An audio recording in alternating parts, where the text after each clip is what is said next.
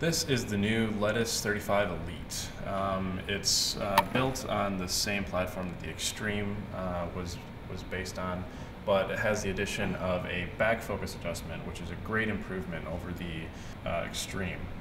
Uh, what this allows you to do is change the distance between the ground plane and the back of the lens element so that you can achieve um, true back focus, so that you can uh, fix errors with the lens not coming up at infinity and being able to get your lens markings on your lens to come up properly.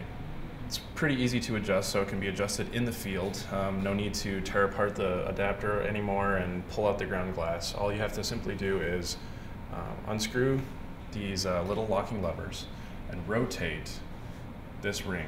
And what that will do is that'll adjust um, in very small increments the, the back of the ground, uh, back of the, the lens to the ground glass. Um, we, we feel it's a great improvement, um, and it also includes, as another feature, uh, the, the film plane line and also a peg, so you can use a, uh, tape measure to mark off your distances.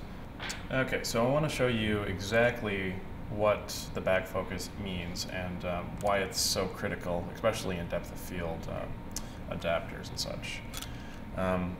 I've just taken off the mount here, and um, there's four screws uh, that screw it in, which you can take off if you need to. And basically, with the mount on there, the the distance between the back of this ground, the back of this lens and the ground glass is very, very critical. Um, if it's slightly in or slightly out, just by you know, um, just millimeters or even probably less than that, um, your lens markings don't come up, and it's possible that you might not achieve infinity on your lens. Usually, you would have to either pull this ground glass out, which was kind of a risky maneuver, especially in the field.